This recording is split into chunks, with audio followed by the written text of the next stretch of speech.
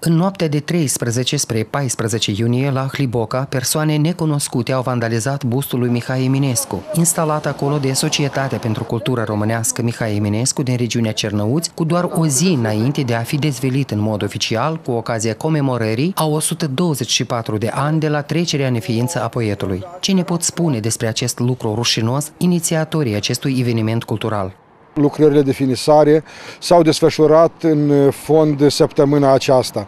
Dar uh, ieri, în ziua de ieri, după ce sculptorii au instalat bustul pe postament, noaptea trecută niște vandali descreierați, le-aș spune eu, că așa îi numesc astăzi toată ziua, au rupt de pe bust uh, capul uh, poetului și l-au furat, au dispărut împreună cu el. Deci nu pot imagina că sunt, calcă acest pământ niște oameni nu-i pot numi, niște animale dobitoci, mai iertați de cuvinte dure, care și-au permit să radice mâna la statuia lui Mihai Eminescu. Ce idei au sau ce concluzii trag după acest act de vandalism, i-am întrebat pe unii români din această zonă.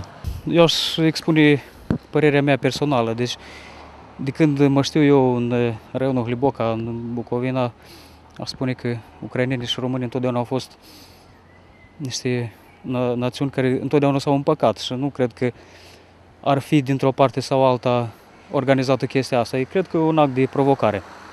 Acest act de vandalism a fost condamnat și de guvernatorul regiunii Cernăuți, Mihailo Papiev, care a făcut apel la organele de aplicare a legii să investigheze incidentul rușinos cât mai curând posibil și să pedepsească pe cei responsabili. De asemenea, șeful administrației regionale de stat Cernăuți a solicitat autorilor să se efectueze lucrările de refacere, astfel încât bustul marelui poet să fie dezvelit mâine, 15 iunie, așa cum a fost planificat inițial. Mâine la Hliboca va avea loc uh, sărbătoarea uh, respectivă, va fi dezvelit bustul lui Mihai Eminescu și vreau să spun că datorită autorităților uh, regiunii, până la sfârșitul zilei de astăzi, sculptorii vor Uh, confecționa uh, această parte a bustului, capul lui Mihai Eminescu și va fi uh, instalat, va fi adus în ordinea cuvenită, iar mâine la ora 12 va avea loc ceremonia de dezvelire a lui.